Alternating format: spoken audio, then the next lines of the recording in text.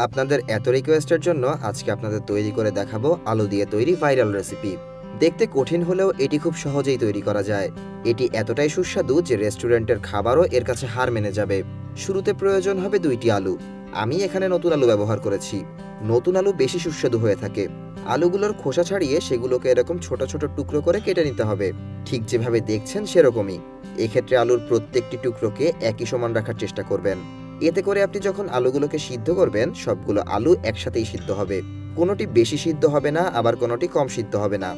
কেটে রাখা আলুগুলোকে একটি পাত্রের ভেতর তুলে নেবেন। এবারে আলুগুলোকে সিদ্ধ করে নেবেন। তবে সিদ্ধ করার সময় কিছুটা পরিমাণ লবণ দিয়ে দিবেন। সিদ্ধ করে নেওয়ার পর সেগুলোকে একটি কাঁটা চামচের সাহায্যে সুন্দরভাবে ম্যাশ করে নেবেন। এক্ষেত্রে যতটা মিহি করবেন, ততই ভালো। আলু মোটামুটি ভর্তা করা হয়ে গেলে এবারে প্রয়োজন হবে কিছুটা পরিমাণ কর্নফ্লাওয়ার। তবে যাদের বাসায় কর্নফ্লাওয়ার নেই, তারা চাইলে চালের গুঁড়িও ব্যবহার করতে পারেন। মোটামুটি দুই থেকে তিন টেবিল চামচ পরিমাণ কর্নফ্লাওয়ার এর ভিতর দিয়ে দিবেন। তারপর খুব সুন্দরভাবে মাখিয়ে নিতে হবে। এক্ষেত্রে ভুলেও পানি ব্যবহার করা যাবে না, কারণ এটি ধীরে ধীরে পানি ছাড়তে থাকে। কর্নফ্লাওয়ার মাখানো শেষ হয়ে গেলে এবারে দুই চা চামচ পরিমাণ ময়দা এর ভিতর দিয়ে দিবেন। তারপর আবারও খুব সুন্দরভাবে মাখিয়ে নিতে হবে। এক্ষেত্রে একটা পারফেক্ট মিশ্রণ হওয়া খুবই জরুরি। মেশানো শেষ হয়ে গেলে দেখতে মোটামুটি এমনই লাগবে। এবারে ডোটিকে নিয়ে বোর্ডের উপর লম্বা রোলের আকৃতিতে তৈরি করে নেবেন। তারপর সেখান থেকে ছোট ছোট টুকরো করে ছিঁড়ে গোল করে নেবেন। গোল করে সেগুলোকে একটি পাত্রে তুলে নিতে হবে। এবারে সবগুলো টুকরোকে বোর্ডের উপর খুব সুন্দরভাবে সাজিয়ে নেবেন। তবে এক্ষেত্রে একটা ব্যাপার একটু খেয়াল রাখবেন, বোর্ডের উপর আগে থেকেই বেশ খানিকটা পরিমাণ ময়দা ছিটিয়ে নিতে হবে। এবার আপনার প্রয়োজন হবে একটি কাচের বোতল। এক্ষেত্রে আমি একটি কোকের বোতল ব্যবহার করেছি। প্রত্যেকটি টুকরোর উপর এভাবে করে চাপ দিয়ে দিবেন, তাহলে একটা দারুণ শেপ চলে আসবে।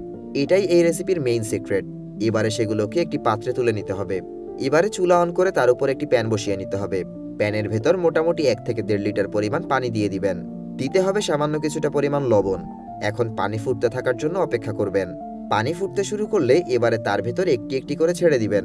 এক্ষেত্রে একটু সাবধান থাকবেন, গরম পানি যেন হাতে না লাগে। সবগুলোকে গরম পানির ভেতর দেওয়ার পর ঢাকনা লাগিয়ে দিবেন। এটি সিদ্ধ হতে থাক, ততক্ষণে আমরা দুই থেকে তিনটি রসুন নিয়ে সেগুলোকে ছোট ছোট টুকরো করে কেটে নিব। রসুন কাটা শেষ হয়ে গেলে সেগুলোকে একটি পাত্রে তুলে নেবেন। এবারে সামান্য কিছুটা পরিমাণ ধনে পাতা ছোট ছোট টুকরো করে কেটে নেবেন। চার থেকে পাঁচ মিনিট পর ঢাকনা তুললেই দেখবেন সেগুলো সিদ্ধ হয়ে এসেছে।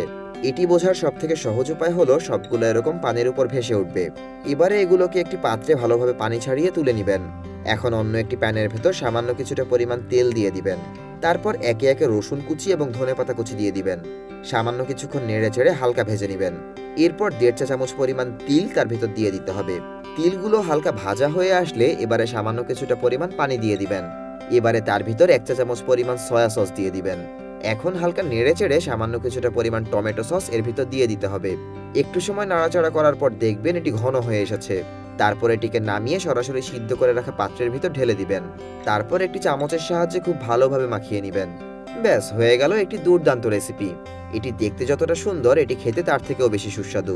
এটি একটি চাইনিজ রেসিপি এটি একবার খাওয়ার পর সত্যি আপনি এর প্রেমে পড়ে যাবেন। তাই আমার রেকমেন্ডেশন থাকবে, এটি একবার হলেও বাড়িতে ট্রাই করে দেখবেন। দেখা হবে পরবর্তী ভিডিওতে নতুন কোনো ডেলিশিয়াস রেসিপি নিয়ে। ততক্ষণ পর্যন্ত সবাই ভালো থাকবেন, সুস্থ থাকবেন। আল্লাহ হাফেজ।